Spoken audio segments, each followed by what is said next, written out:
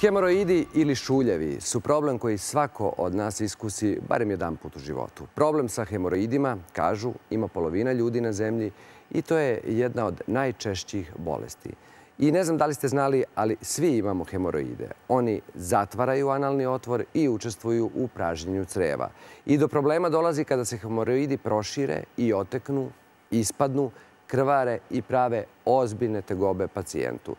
Kako ih se zauvek rešiti, to pitam mog današnjeg gosta, doktora Miroljuba Draškovića, vaskularnog hirurga. Dobar dan, dobro mi došli. Bolje vas I e, je li tačno da su hemoroidi neka vrsta proširene vene?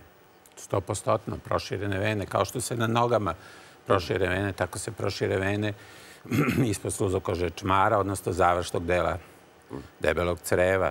One su normalno tu, nema normalnog funkcionisanja čmara, bez postojanja hemoroida. Inače bi svaka stolica oštetila svinkter uvek da nema tih hemoroida, koji, tih venskih jastučića koji štite svinkter, kao što kad god sednemo, kad sednemo bilo gde, sedeli bi svinkterom direktno da nema spoljašnjih hemorida. Ovo su unutrašnji, ovi spoljašnji hemoridi. I što, što je to tako osetljivo? Je li to zbog toga što je to jedino mesto gde se spajaju arterije i vene? Anatomski razlog je suštinski i evolucija čoveka. Ako je tačno da smo se ispravili, to je jedino tačno. Anatomski razlog, e, jedino mesto u organizmu gde se arterija, hemoridalna arterija, direktno uliva u venu. Nema onog arterija, arteriola kapilari, nego spoje direktan sa zalistkom ili valvulom koja treba da pušta krv u hemoroid kad treba. A kad treba? Kad kružni mišić, svinkter, zatvori čmar, onaj središnji deo te vene treba da zadihtuju. Ta treba krv da uteče u hemoroide. Kod osoba koje imaju problem sa hemoroidima, kod kojih je normalno stanje hemoroida prešlo u hemoridalnu bolest, krv stalno, stalno teče. Visok je pritisak krvi u tom unutrašnjem spletu. Kako se povećava pritisak, tako se te vene šire i te proširene vene u završnom delu debelog creva i čmara dovode do te hemoridalne bolesti. Iz normalnog stanja pređemo u bolest. Da. I e, e, tu isto postoje razni stadijumi u razvojima te bolesti. Kako bolest napreduje, tako je bolest sve izraženija. Od hemoroida prvog stepena koji se javljaju na početku analnog kanala, evo ovdje se lepo vidi. To je, mali... to, je to kad se ta krv pokrene, Jeste, proširila se vena, otprilike kao na nogama kad se prošire vene. Kasnije, evo kako ono napreduju, iz prvog stadijuna pređu u drugi stadijum, pa kada, više, kada se posle stolice e, ispadnu i sami se vrate treći i kada stalno budu van, to je četvrti stadijum. Nažalost, toga ima puno i hemoridna bolest je bolest savremenog čoveka. Svaki drugi čovjek ima problem s hemoroidima. I koji je sad to stadijum koji treba da nas zabrine i koji je možda već za operaciju? Prvi stadijum treba regulisati na način koji se može karakterisati jednim urednim životom, higijenama, odnosno adekvatnom izbalansiranom ishranom. Drugi stadijum i nadalje zahteva lečenje da li će to biti samo lekovima ili korišćenje, kad kažem lekovi, mislim na maste, na, na maste, dok mislim na neke tablete, a postoje i mogućnost, postoji mogućnost sklerozacije hemoroida. To su za niže stadije bolesti. Već treći, drugi na treći, treći, četvrti stadijum apsolutno zahteva hiruško rešavanje e, hemoroida. I ja ću vas zamoliti da pređemo ovamo, u ovaj deo studija. Ovde ste nam doneli nešto što izgleda strašno, a što se koristi u najnovim procedurama lečenja hemoroida. Šta je to? Ovo je oprema koju koristimo za trajno rešavanje hemoroida. To je ta THD metoda, metoda rešavanja hemoroida bez reza. E, u uvodu ste rekli da je to jedino mesto gde se arterija direktno uliva u venu. Nema kapilara. E, Ova THD metoda, zahvaljujući Dopplerom, zahvaljujući Doppleru koji je, koji je ugrađen u ovaj aparat. Samo da okrenemo ovako. Ja ne znam, sad vi ćete reći koja je kamera. Ovo je Doppler. Kao ono Doppler kad se gledaju vene, gledaju se krvni sudovi. E, ovo je napravljeno u okviru ovog malog aparata. Kad uđete u analni kanal, odnosno rektum, ova crna tačka je mesto gde Doppler je aktivan. I on traži ove spojeve o kojima smo pričali na početku i kad nađe taj spoj, ovo je povezano na aparat imamo jak zvuč, mi tačno čujemo arteriju kao ono šum, uh, udarac arterije. Kada ovaj Doppler konstatuje da je spoj tu, ovaj aparat je konstruisan tako da kroz ovaj prorez, ako provučem iglu, a sve je to upareno, lovci kažu upur, upareno, upucano i zaista je tako. Kroz ovaj prorez, ako iglu provučem, Dobro. ja sam tu arteriju podvezao. I ja sam praktično uzoročno rešio hemoroidalnu bolest. Nema više Da, doticanja krvi. otklonili ste uzrok. Da. I ono, naravno, to se odmah proveri.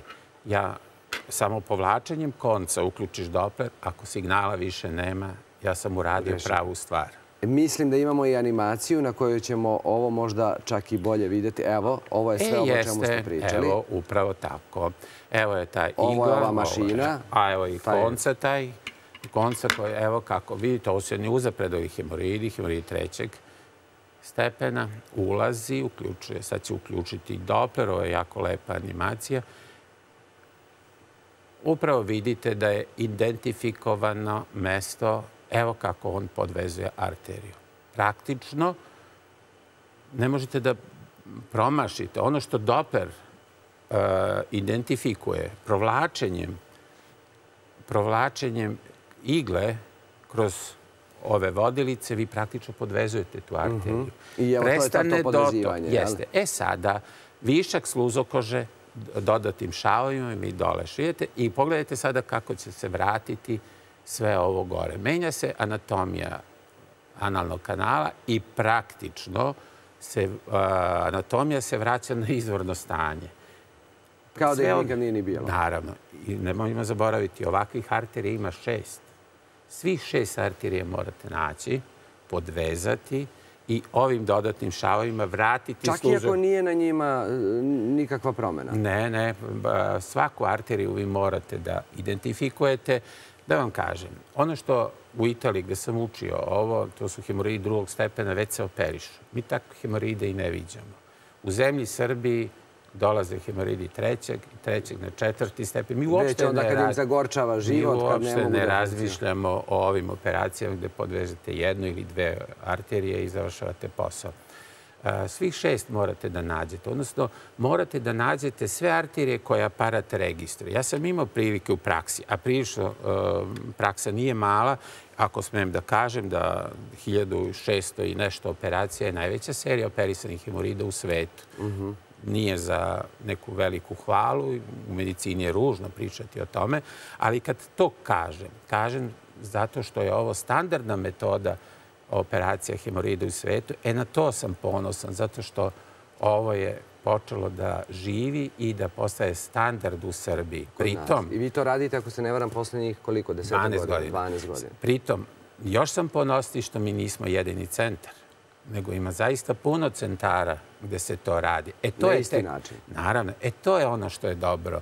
Da, da se širi priča za ono što je dobro za pacijente. Da praktično u jednom, e, posle te procedure vi ga odmah rešavate tegoba, on ide svojoj kući Mhm. i može da uživa u svak- svakom segmentu svog života. E, dobro. pokazali ste nam i vidjeli smo kako izgleda.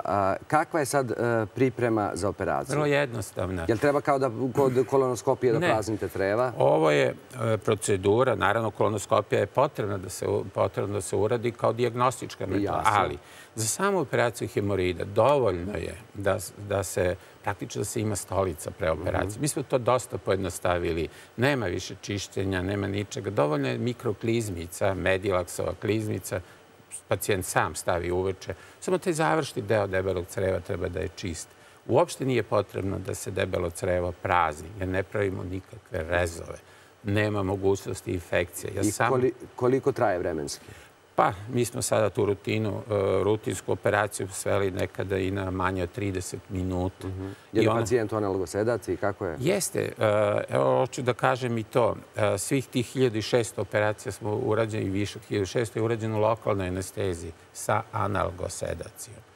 E, profesor Rat, od koga sam to učio u Italiji, on tvrdi da ne može da se napravi operacija bez epidurala, spinala ili opšte anestezije. Mojih svih 1600. I to će biti predmet nekog istraživanja, odnosno objavljivanja u jednoj knjizi, ali nikako se ne stiže. Svih je 1600 napravljeno u lokalnoj anesteziji sa analgosedacijom. Svi su otišli kući što je veliki komfor posle operacije ustane. Odmah posle operacije? Pa da, sad. Jer ima nešto što ne smete da radite posle operacije? Šta se savjetuje?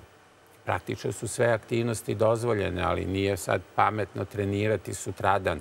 Mada Neki nema, napor da se napražite. Ne veliki napor, mada tu nema zaista pravi. Imam pacijentkinja koji sutradan odlazile na pijacu, sve u kući radili. Znate, to je sve stvari individualne, ali kažem, to su najčešće uznapredovali hemoroidi i treba biti oprezan par dana, ne izlagati se naporima. Je li ima neko ko ne može da bude kandidat za ovu proceduru? Uklješteni hemoroidi, trombozirani hemoroidi. Mada sam i tu, kada nije potpuna tromboza, ako je parcijalna tromboza, vi znate, ima tipično na tri mesta se dešavaju trombozi, prolapsi tromboza. Kada je bilo jedan veliki trombozirani hemoroid, ja naravno uradim THD, probam da vidim šta će se desiti ako i tu uradim THD. Naravno, taj trombozirani hemoroid se redukuje za jedno 30-40%. A šta to znači? Vi to svakako ga morate odstraniti jer je mhm. mrtvo.